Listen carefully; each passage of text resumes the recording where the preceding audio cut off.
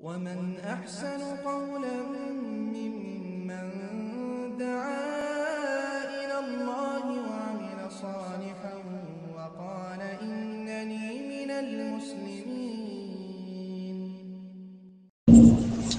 আসসালামু আলাইকুম রহমতুল্লাহ বরাকাত একজন জানতে চেয়েছেন ফরজ সালাতের পরে ফরজ সালাতের সালাম ফেরানোর পরে নির্দিষ্ট কিছু দোয়া ও জিকির আছে যেটা আমরা পড়ে থাকি বা জানি কিন্তু সুন্নাত এবং নফল নামাজ শেষ করে সেরকম কোনো জিকির, আজকার দোয়া আছে কিনা? এ বিষয়ে জানতে চেয়েছেন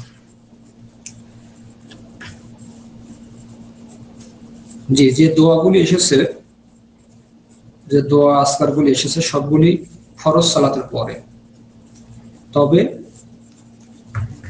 সুন্নত এবং নফল সালাত শেষ করে যেটুকু বলা যায় সেটুকু হলো আস্তাগফিরুল্লাহ আস্তাগফিরুল্লাহ আস্তাগফিরুল্লাহ। আল্লাহুম্মা আনতাস সালাম ওয়া মিনকাস সালাম তাবারাকতা ইয়া যাল জালালি ওয়াল ইকরাম এইটুকু দোয়া এসেছে আম ভাবে অর্থাৎ ফরজ হোক অথবা সুন্নত নফল হোক, যে কোনো সময় সালাম ফিরালে, সালাত শেষ করে সালাম ফিরিয়ে এই দোয়াটুকু করা যায়। অর্থাৎ এই দোয়াটুকু ফরজ এবং নফল সব সালাতের ক্ষেত্রে সালাম ফেরানোর পরে করা যায়। এমনকি শাহেখ বিন বাজ রাহিমাহুল্লাহ এবং একটি, তিনি দলিশ গ্রহণ করে সাহি মুসলিম একটি হাদিস সাহবান রাজি থেকে তিনি বলছেন রাসুল যখন সালাম ফেরাতেন সালাত শেষ করতেন, শেষ করে তিনি ইস্তাক ফরাল্লাহ সালাহান তিনি তিনবার আল্লাহকে ইস্তেফার করতেন, অর্থাৎ আস্তাক ফরুল্লাহ আস্তাক ফরুল্লাহ এটা করতেন। এরপরে বলতেন আল্লাহ আন্তাস সালাম অমিনকাস সালাম তাবারকটা ইয়াজাল জালাল ইকরাম। সহি মুসলিমের হাদিস। এই হাদিসটি আম, অর্থাৎ শুধু সালাতের কথা এসেছে, ফরজ, সুন্নত, নফল কোনো সীমাবদ্ধ করা হয়নি।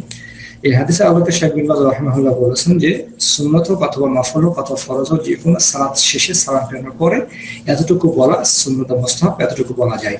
আর বাকি ফরজ সালাতের পরে সালাম, ফরজ সালাতের পরে সালাম ফেরানোর পরে ফরজ সালাতের ক্ষেত্রে অনেকগুলি দোয়া যেগুলি এসেছে, আমরা আমল করে থাকি বা আমরা জানি সেগুলি এসেছে ফরজ সালাতের পরে। কিন্তু এতটুকু নফল সালাতের পরে। আশা করি স্পষ্ট। আসসালামু আলাইকুম রহমতুল্লাহ